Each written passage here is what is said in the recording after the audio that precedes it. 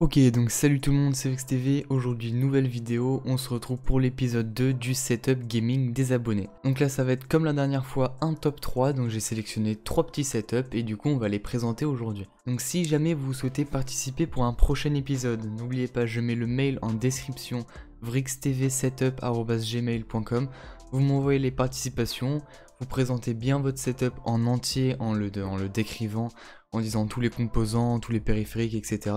Et vous m'envoyez du coup quelques photos de votre setup. Ok, donc on commence tout de suite avec le setup de Matisse qui a 16 ans.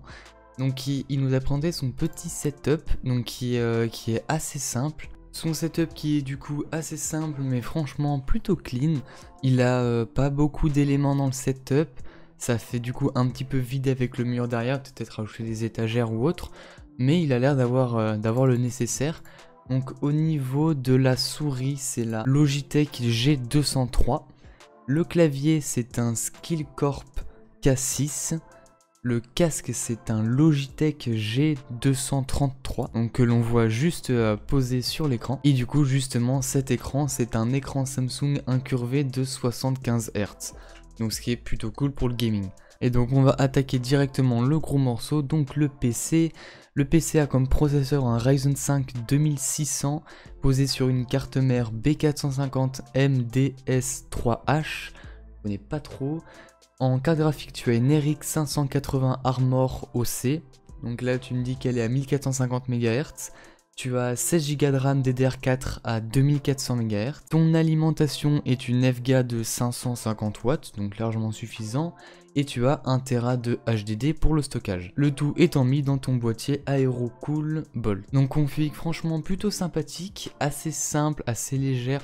Si ton processeur est très bon, mais j'avoue que j'upgraderai peut-être un petit peu la carte graphique et une meilleure fréquence au niveau de la RAM, mais sinon c'est quand même une très bonne config. Et le boîtier qui est quand même le Aerocool qui est plutôt esthétique je trouve. On n'a pas 2-3 ventilateurs qu'on voit à l'avant, mais il rend plutôt bien, t'as collé quelques stickers dessus. Franchement, pas mal. Donc voilà, c'était le setup de Matisse, et du coup, on passe directement au setup suivant.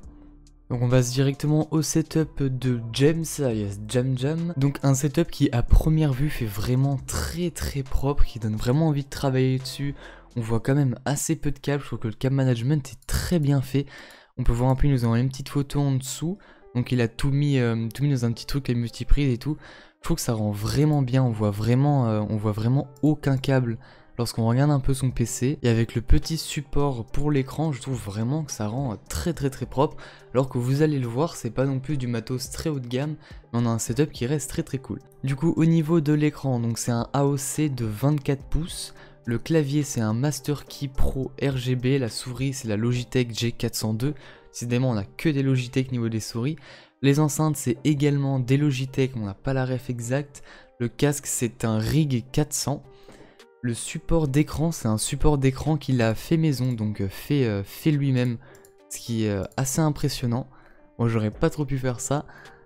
Donc voilà, un, support pour écran fait lui-même mais qui rend super bien. Donc on va directement s'intéresser à son PC qui est donc équipé d'un FX 4100, 6 Go de RAM, une GTX 770, 1 Tera de stockage, une alimentation de 520 watts de chez Antex, on le voit bien en bas à gauche, et un tout ça dans un boîtier du coup euh, Cooler Master. Donc c'est une config très très légère mais qui doit être fait j'imagine avec, euh, avec les moyens du bord. Tu ne pourras sûrement pas faire du gaming en Full HD sur tous les jeux ni du montage pro sur des gros logiciels, mais ça m'a l'air quand même très correct et on a vraiment l'impression de voir un beau setup avec assez peu de budget vu que tu as fait en partie les choses toi-même, tu as une config assez légère et le tout rend vraiment super bien. Tu as réussi à faire un beau setup avec un petit budget et pour ça je te dis bravo. Donc voilà, on a déjà terminé avec le très beau setup de James et on passe directement au setup suivant.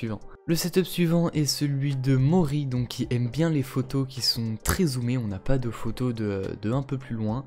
Donc c'est un setup où on va dire que l'esthétique globale est un peu moins travaillée, mais les composants en, eux-mêmes sont plutôt quali. Du coup on part sur une souris HyperX mais on n'a pas le nom exact mais bon j'imagine que vous allez réussir à la retrouver. Le clavier c'est également un HyperX le Alloy Core RGB. Le micro qui est également un HyperX c'est le Quadcast donc celui-là je l'ai vu. Je crois qu'il coûte assez cher, c'est peut-être dans les 100-150 euros mais c'est un très très bon micro. Au niveau de l'écran, on n'a pas la ref non plus, mais c'est un écran Asus 144 Hz qui a, c'est vrai, assez peu de bordure et qui fait du coup plutôt... Euh. Ah, c'est la gamme Tough Gaming, ça, ça devrait peut-être vous, aider, euh, vous aider à le retrouver. Dans le boîtier, on retrouve directement un Ryzen 5 2600X cadencé à 3,6 GHz. On retrouve 16 Go de RAM DDR4 à 2400 MHz. Bon, vous aimez bien les 2400 MHz, peut-être falloir euh, augmenter un petit peu. La carte graphique, c'est une Nvidia GeForce RTX 2060 6 Go. Là, on est vraiment sur, sur de la bonne carte graphique.